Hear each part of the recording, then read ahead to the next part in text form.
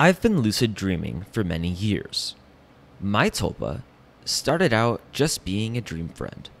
She was so real, independent, like a separate consciousness, that I needed to somehow take her out of the dream world.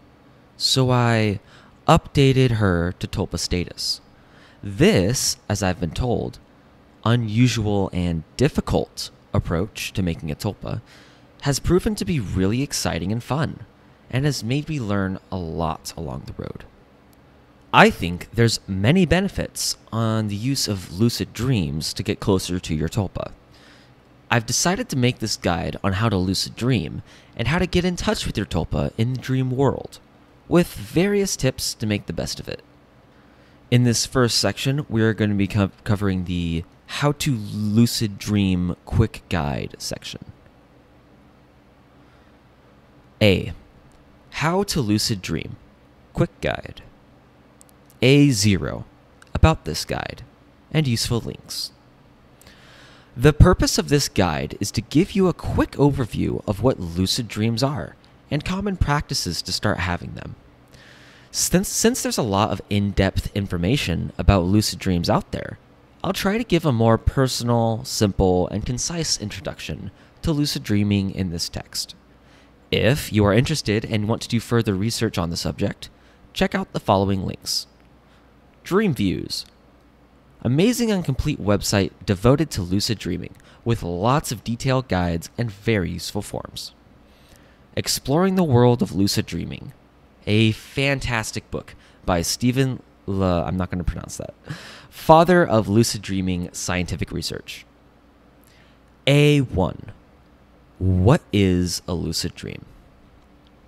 Basically, it's a dream in which you are aware you're dreaming and you retain consciousness, which in turn makes the dream world very vivid and realistic. If you're lucid while dreaming, you can also achieve greater control over the dream, ultimately, being able to change the whole dream world as you please. You may probably have experienced one or two lucid dreams already, since in normal circumstances, people have a few lucid dreams during their lifetimes. With some practice and a bit of patience, you can achieve having several lucid dreams every night. A2 Dream Recall. The first important step is to be able to remember your dreams. What's the point in having an awesome lucid experience if it vanishes from your memory just as you wake up? That's why I suggest starting a dream journal first. Keep a notebook and pen or electronic device just beside your bed or under your pillow. Before falling asleep, concentrate for a while on convincing yourself you're going to write everything you can remember from your dream as soon as you wake up. If you wake up and remember nothing, don't worry. If you can remember just a con- concept, object, or idea, write it down. Write down as much as you can. You should also write about emotions, smells, sounds, textures, memories that the dream evoked. Don't focus on just the events that happened. It could also help to remain a minute or two motionless with your eyes closed and carefully reconstruct the dream backwards in time before writing any, anything down. This is a bit tedious, I know, but it pays off in, in just a couple weeks, if you're persistent, you'll start remembering full dreams and filling several pages each night. Although a dream journal is not really a must to successfully lucid dream, it can be really helpful. Apart from increasing your dream recall, it makes you more aware about your senses and thoughts through those detailed descriptions, eventually making it easier to discern when you're dreaming. A3 Techniques to Induce Lucid Dreams. There are many different techniques and practices that can increase your probabilities of having a lucid dream. The key is to try as many as possible and find those that are most effective for you. Many of them might not work the first couple times or not work at all. So don't worry too much about failure and just experiment and have fun with them until you find the set of techniques that suits you the best. A31 The Reality Check. A reality check is basically asking to yourself if you're dreaming while awake. Ideally, you should do them regularly, every 5, 10, 30 minutes during the day so you trigger them automatically when you're dreaming. Also, you should just avoid just remembering, Am I dreaming? like a parrot. Each time you do a reality check, you should take a moment to carefully examine your surroundings and recent memory. What was I doing five minutes ago? What was I going to do next? And see if anything is odd or out of place, meaning that you could be dreaming. This technique, used by many lucid dreamers, doesn't particularly work for me. So I'll instead share my own way of doing a reality check, which is very simple and in my case, very powerful. While awake, you probably never question if you're dreaming ever. But in dreams, you might always have a slight doubt. The only thing you need to do is learn to identify that doubt, even if it's almost insignificant. You need to convince yourself that anytime this happens, anytime you think you might be dreaming, even if it's just a little, you're definitely dreaming. A32 Dream Signs. Once you've filled lots of pages in your dream journal, you might notice that some elements or themes appear frequently in your dreams. It could be people from your childhood, cars driving at unreasonable speeds, water elevators.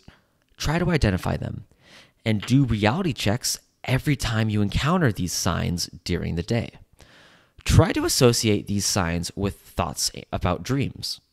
This way, whenever you encounter those signs inside a dream, you'll have a better chance of asking to yourself if you might be dreaming and become lucid.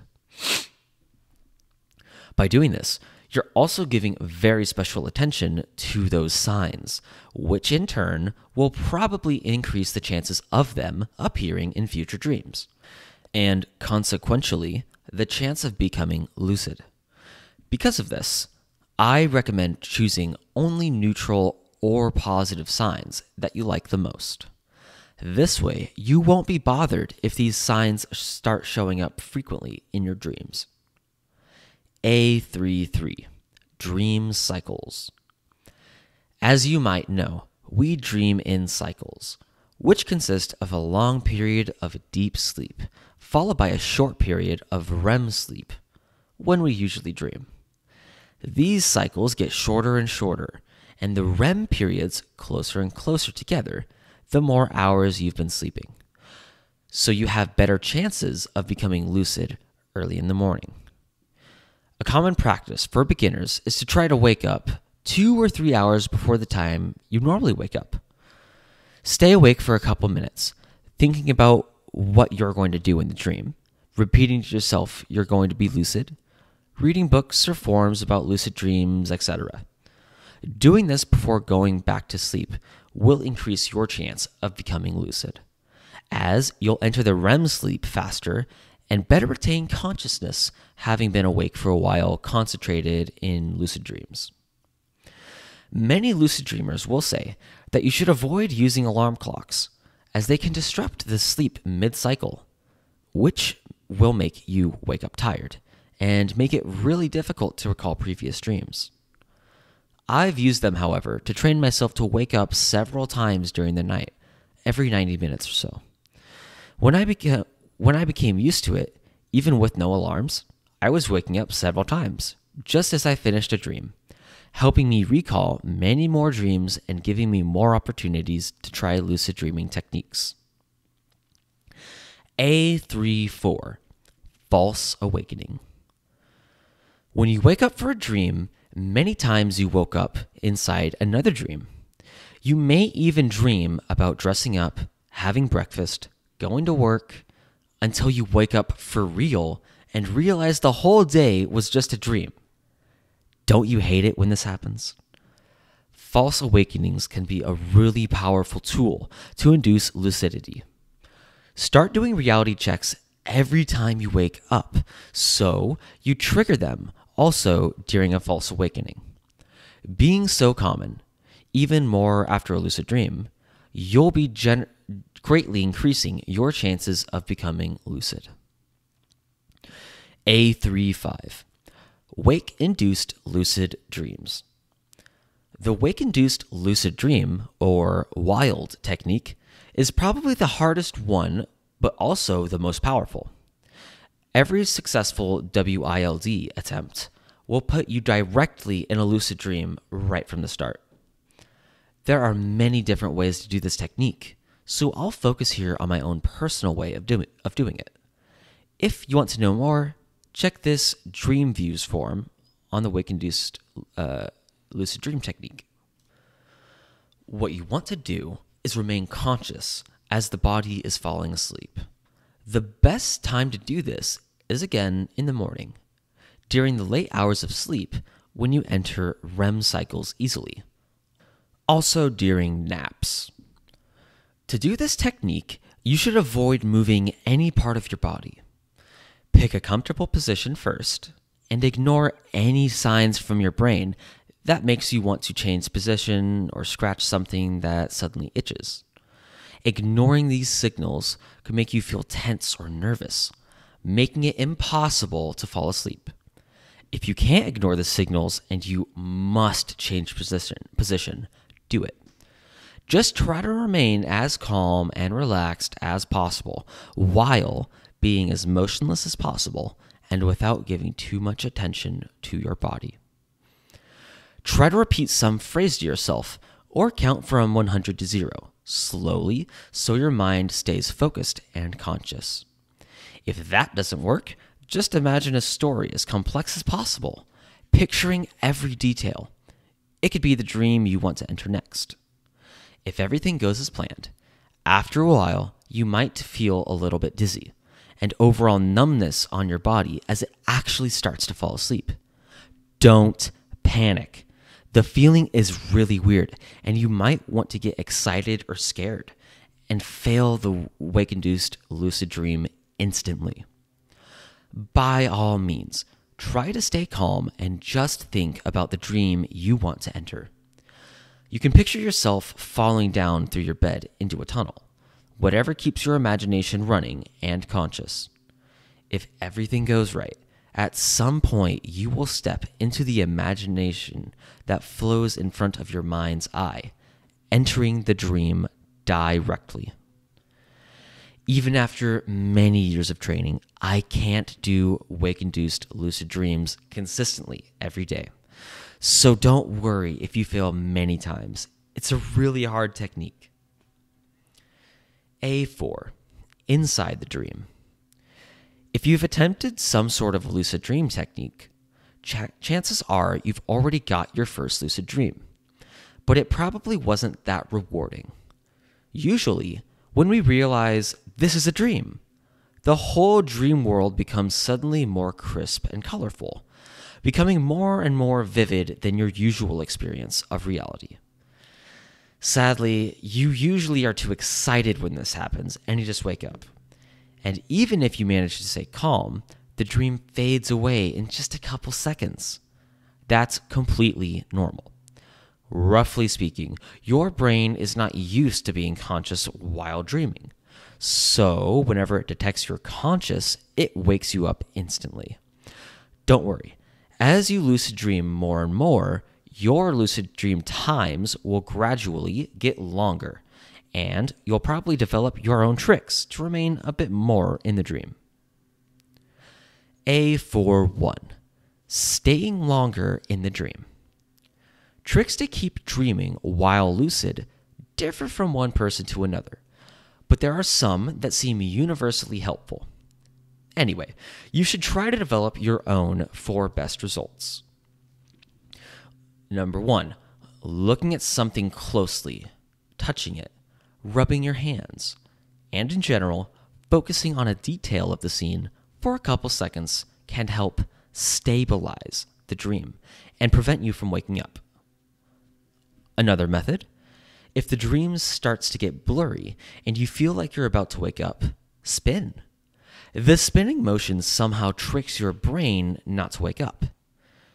It is also a good trick to teleport you to another dream scene quickly. Another way, if you wake up into a false awakening, you might become lucid again and continue with the dream right where you left off.